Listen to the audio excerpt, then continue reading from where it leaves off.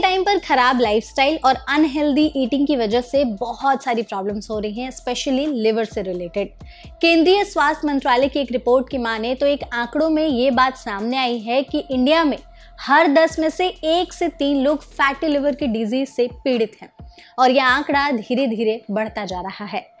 अब ऐसे में हमें जानना ज़रूरी है कि आखिर ये प्रॉब्लम होती क्यों है? क्योंकि समय रहते अगर इसे कंट्रोल कर लिया जाए तो बहुत सी गंभीर बीमारियों का खतरा जो है, वो होने से बच सकता है। लेकिन आगे चलकर इससे बहुत सारी प्रॉब्लम्स हो सकती हैं। तो ऐसे में आज इस वीडियो में आपको डॉक्टर नीरज बताएँगे कि आखिर फैटी लिवर की ये प्रॉब्लम क्यों बढ़ रही है? इससे बचने के लिए हम क्या कर सकते हैं और इसका ट्रीटमेंट क्या है? तो पहले आप उनकी ये वीडियो देखिए। नमस्कार। मेरा नाम डॉक्टर नीरज सराफ है और मैं मैदानता गुरुग्राम में लिवर डिज़ीज़ के डिपार्टमेंट में सीनियर डायरेक्टर हूँ। क्या आपको पता है कि fatty liver, blood pressure, diabetes, high cholesterol, heart disease, ये सब जो कॉमन डिज़ीज़ हैं, ये आपस में इंटरलिंक्ड हैं। क्या आपको पता है कि 70 परसेंट लोग जिनको डायबिटीज़ है या ब्लड प्रेशर है उनको लिवर में फैट आ जाता है, यानी कि लिवर में चर्बी बढ़ जाती है और इससे लिवर डैमेज होने के चांसेस होते हैं। फैटी लिवर जिनको होता है, उनको डायबिटीज़ भी ज़्यादा होती है और अगर हम देखें तो उनको लिवर से ज़्यादा हार्ट डिज़ीज़ होती हैं।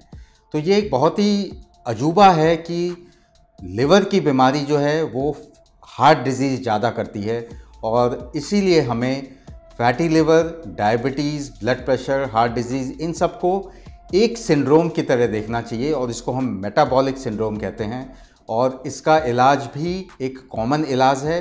आप जान के हैरान होंगे कि इंडिया में करीब 35 परसेंट आम पॉपुलेशन को फैटी लिवर है। तो आप अंदाज़ा लगा सकते हैं कि अगर 140 करोड़ पॉपुलेशन है हमारी तो शायद 50 करोड़ लोगों को फैटी लिवर है और इनमें से दस साल में, पंद्रह साल में करोड़ों लोगों को ये fatty liver advance liver disease होता है और इसमें लिवर फेल भी हो सकता है। तो ये हार्ट डिज़ीज़ भी करता है और लिवर को भी फेल करता है। हमने देखा है कि पिछले कुछ सालों में या पिछले दशक में फैटी लिवर बहुत ज़्यादा प्रेवलेंट हो गया है। हम ओपीडी में देखते हैं कि हर तीसरा, चौथा पेशेंट जो हमारे पास आता है, वो फैटी लिवर लेके आता है और उसके इलाज के लिए आता है। अब ये क्यों बढ़ रहा है इतना? इसके कुछ प्रमुख कारण हैं। एक है हमारा लाइफस्टाइल लोग एक्सरसाइज कम कर रहे हैं सेडेंट्री लाइफस्टाइल ज़्यादा जी रहे हैं, कार में ट्रैवल कर रहे हैं, पैदल कम चलते हैं एक्सरसाइज कम करते हैं। So that's the number one reason number two है हमारा खान पान ये हम देख रहे हैं, खासकर यंगस्टर्स में मोटापा बहुत बढ़ रहा है। लोग जंक फ़ूड खा रहे हैं पिज़्ज़ा बर्गर खा रहे हैं। High protein nutritious balance diet का कॉन्सेप्ट एकदम ख़त्म होता जा रहा है। सो so, ये मेजर कारण है लाइफस्टाइल चेंज अल्कोहल ज़्यादा लेना जंक फ़ूड खाना अनहेल्दी फ़ूड खाना और एक्सरसाइज ना करना ये प्रमुख कारण है जिसकी वजह से फैटी लिवर इतना ज़्यादा आजकल जनरल पॉपुलेशन में हो गया है। तो जैसा कि आपको डॉक्टर नीरज ने भी बताया कि खराब लाइफस्टाइल की वजह से एक्सरसाइज न करने की वजह से अनहेल्दी खान पान की वजह से और शराब का सेवन करने से फैटी लिवर की प्रॉब्लम बढ़ रही है। और फैटी लिवर सिर्फ़ एक अकेली प्रॉब्लम नहीं है, इससे और भी प्रॉब्लम्स होने लगती हैं स्पेशली हार्ट से रिलेटेड बीमारियाँ। फैटी लिवर के कोई सिम्टम्स नहीं होते हैं। तो अक्सर क्या होता है कि पेशेंट किसी कारण से अल्ट्रासाउंड कराता है और तब पता लगता है कि लिवर में फैट है। Fatty liver is a silent disease. Unless ये बहुत एडवांस्ड हो जाती है। तो फैटी लिवर के कोई सिम्टम नहीं होते हैं, कोई दर्द नहीं होता है, कोई और सिम्टम नहीं होता है। वैसे तो डॉक्टर नीरज ने आपको बताया कि फैटी लिवर एक साइलेंट डिज़ीज़ है, इसके कुछ खास सिम्टम्स दिखाई नहीं देते हैं।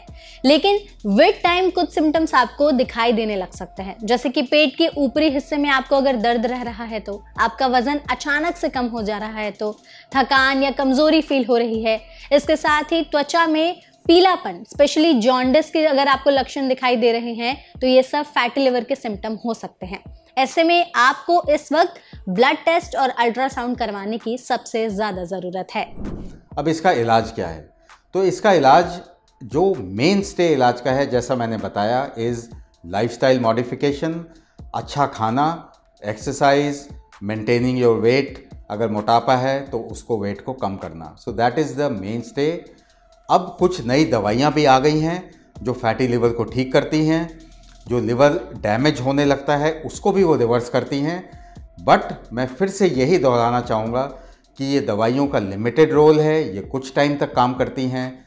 लॉन्ग टर्म सोल्यूशन एक ही है वेट लॉस अच्छा खाना और एक हेल्दी लाइफस्टाइल जीना। तो देखिए छोटी छोटी चीज़ें हैं। जैसे अगर हम अभी से सुधारना शुरू कर देते हैं तो फैटी लिवर की प्रॉब्लम बहुत हद तक कम हो जाती है। सबसे पहले अपने लाइफस्टाइल को सही करिए, अपने खाने पीने की आदतों को सही करिए, अपनी डाइट में फल को, सब्जियों को शामिल करिए, बाहर का खाना तला भुना खाना, इन सभी को अवॉइड करिए। हर दिन आधे घंटे की एक्सरसाइज भी बहुत ज़्यादा ज़रूरी है। साथ ही आपको पानी पीना ज़रूरी है, क्योंकि अगर आप दिन में आठ से दस ग्लास पानी पीते हैं तो इससे आपके शरीर में जितने भी टॉक्सिन्स हैं, वो सब निकल जाएँगे। तो अगर आपको भी फैटी लिवर की प्रॉब्लम से बचना है तो इन आदतों को अभी से ही अपने डेली रूटीन में शामिल करना शुरू कर दीजिए। आई होप आपको ये वीडियो इन्फॉर्मेटिव लगी होगी। ऐसे और भी वीडियोस के लिए हमारे चैनल एनबीटी लाइफ को सब्सक्राइब करना ना भूलें।